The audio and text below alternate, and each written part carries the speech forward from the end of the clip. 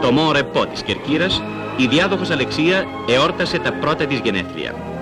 Μόλις το βασιλικό ζεύγος με τη μικρή πριγκίπισσα βγήκαν στον κήπο των ανακτόρων, οι αναμένοντες φωτορεπόρτερς έσπευσαν να αποθανατήσουν τη χαρούμενη στιγμή.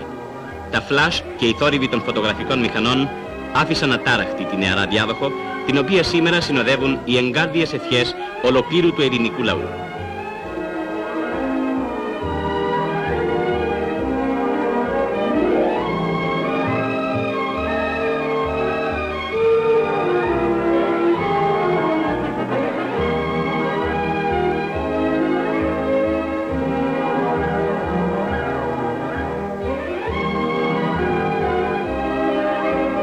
Η φωτογράφηση της Αλεξίας με τους γονείς της και τη γιαγιά, βασίλισσα μητέρα Φρυδερίκη, συνεχίστηκε ολόκληρη την ημέρα. Σε ειδική τελετή στα ανάκτορα των Αθηνών, ο βασιλεύς Κωνσταντίνος απέρινε ιδιοχείρος διπλώματα και παράσημα εις 190 επιστήμονας, εκπαιδευτικούς, δημοσιογράφους, ηθοποιούς, αθλητάς και άλλους, οι οποίοι έτυχαν εφέτος τιμητικών διακρίσεων επ' ευκαιρία της βασιλικής εορτής.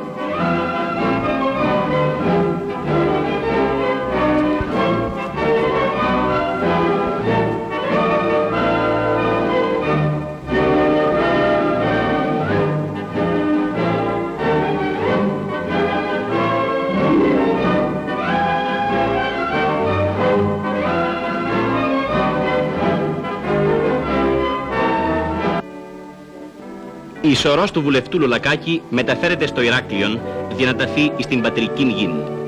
Σύσσωμος ο κριτικός λαός πενθεί την απώλεια ενός από τα ευγενικά τέκνα της Μεγαλονίσου. Ο πρόεδρος της Βουλής και πολλά μέλη της κυβερνήσεως παρίστανται εις την κηδεία του εκλειπώντος.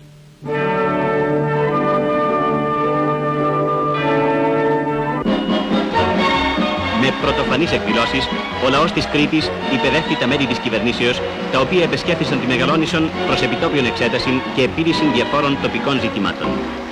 Εις τον Υπουργόν Συντονισμού κ. Μητσοτάκην, ο οποίος ηγείτο του κλιμακίου της κυβερνήσεως, οι κάτοικοι της νήσου επεφύλαξαν θερμοτά την υποδοχή.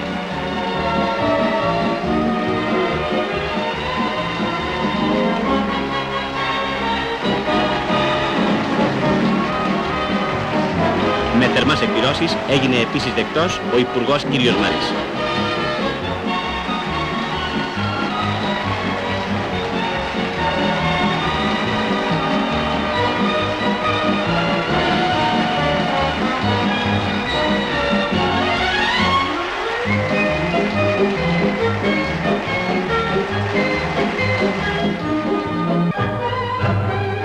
Παρουσία του Βασιλέως, του Υπουργού και του Υφυπουργού Εθνικής Αμήνης, καθώς και των αρχηγών των τριών επιτελείων και ανωτέρων αξιωματικών της Βασιλικής Αεροπορίας, διεξήχθη στην περιοχή Ναλιβερίου Ευβίας η πρώτη εθνική αεροπορική άσκησης υπό την επωνυμία Ίκαρος.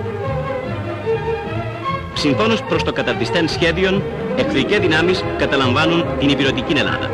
Προς αντιπερισπασμόν, ερήχθη εναντίον του εχθρού ολόκληρος η δύναμης της πρώτης μοίρας αλεξιπτοντιστών.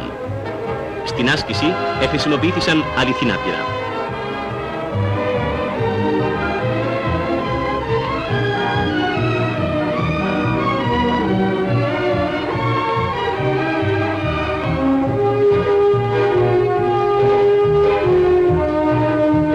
Στο τέλος έγινε ενώπιον του βασιλέως επίδειξης της λειτουργίας του αλεξιπτότου.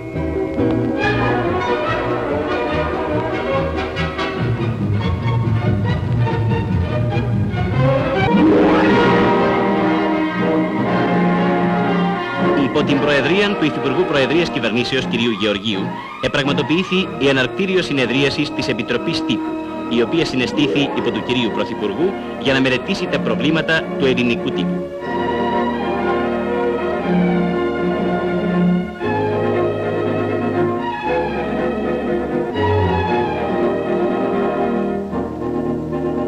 Ο Υπουργός Εμπορίου κ. Κοθρής επισκέπτεται τας Βρυξέλλας, όπου τον υπεδέχθη ανώτατος υπάλληλος της Ευρωπαϊκής Οικονομικής Κοινότητας. Ο κύριος Υπουργός συζήτησε προβλήματα προσαρμογής της αγροτικής πολιτικής της ελληνικής κυβερνήσεως προς τα προγράμματα της κοινής αγοράς.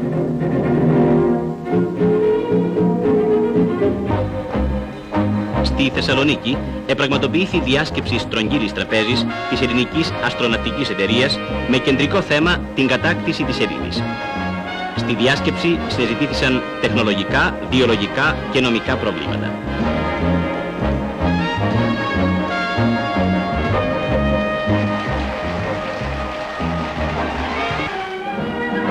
Ενώπιον του Υπουργού Δημοσίας Τάξεως κ. Αποστολάκου, της ηγεσίας των Σωμάτων Ασφαλείας και άλλων επισήμων, έγινε στη Σχολή της Αστυνομίας Πόλεων η ορκομοσία των νέων υπαστηνόμων.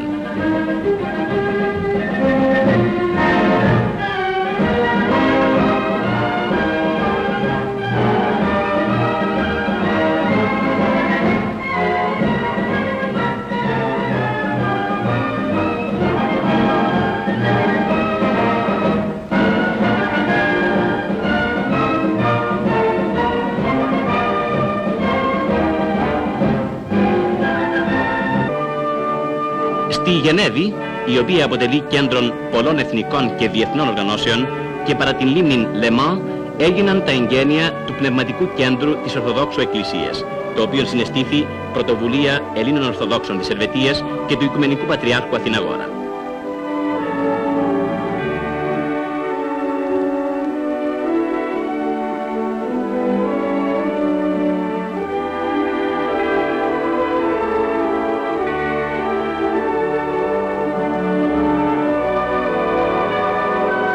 Εις μήνυμά του, ο Πατριάρχης Αθηναγόρας απεκάλεσε το υποίδρυσιν κέντρον εστίαν ακτινοβολίας της Ορθοδοξίας.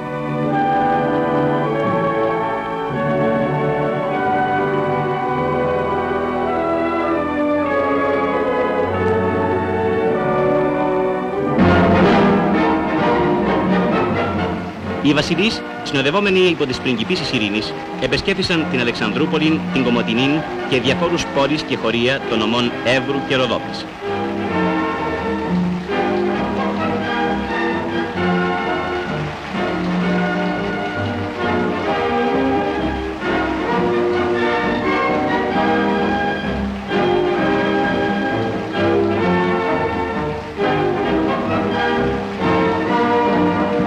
Συνεχεία, οι βασιλείς μετέβησαν στο στάδιο της Κομωτινής για να παρακολουθήσουν τους αθλητικούς αγώνας ακρίτια.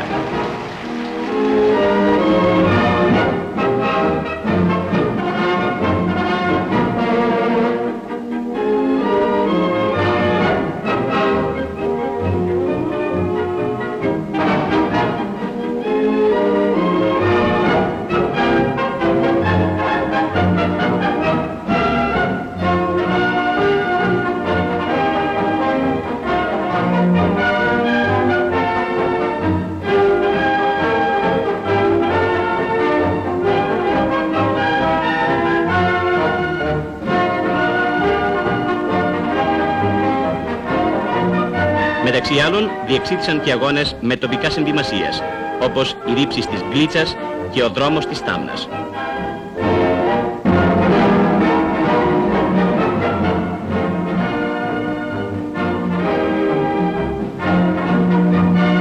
Ο βασιλεύς αποχαιρετά τους αθλητάς του μεγάλου ιστιοπλοϊκού αγώνος Ράλι Αιγαίου.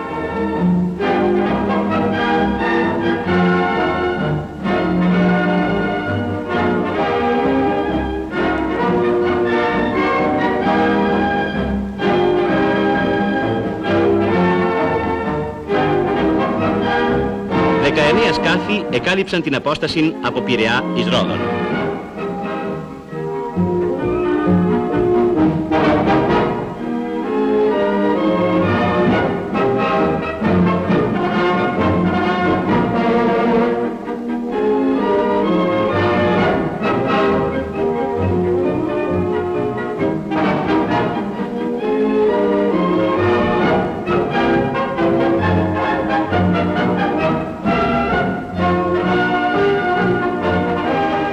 Την πρώτη θέση κατέλαβε το σκάφος το Ξώτης με κυβερνήτη τον κύριο Σικιαρίδη. Τα έπαθλα επεδόθησαν υπό του Υπουργού Εμπορικής Ναυτιλίας κ. Μαυριδόγλου κατά τη διάρκεια ειδικής τελετής εις την Ρόδον, εις την οποία παρέστη και ο Υφυπουργός Προεδρίας Κυβερνήσεως κ. Γεωργίου.